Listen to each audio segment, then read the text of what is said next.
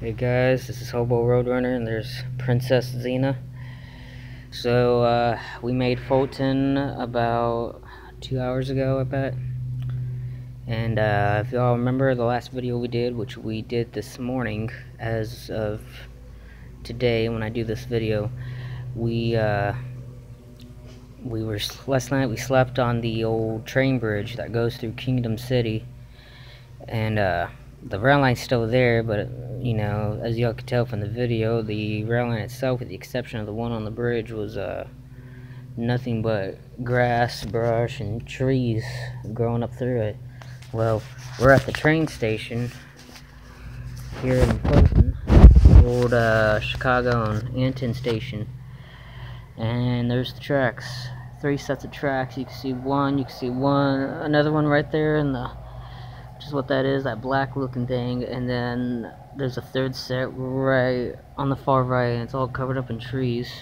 The problem is, they can't run trains through here anymore. I mean, they could with this one right here, but if you look right over there, uh, the road itself has been paved, the railroad's been paved over, and ah, there's a business across the street that bought out a section of the track and it's still sitting there but they fenced off the area and they're using it for uh, like a barn area or some bullshit like that you know?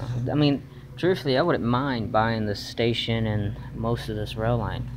You know shit I could turn all three of these rail lines right here into uh to like a uh, train museum or something you know?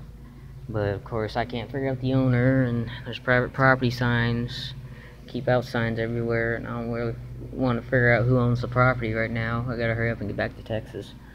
But this really wouldn't be a bad place to own. I really like this. I definitely would buy the station and the tracks.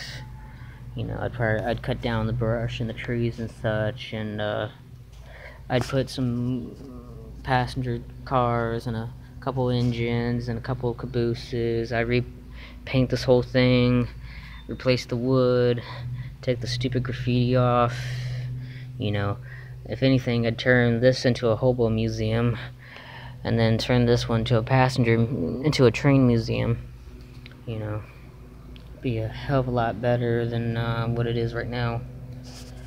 But, uh, anyways, we gotta go. We're gonna explore the rest of the line.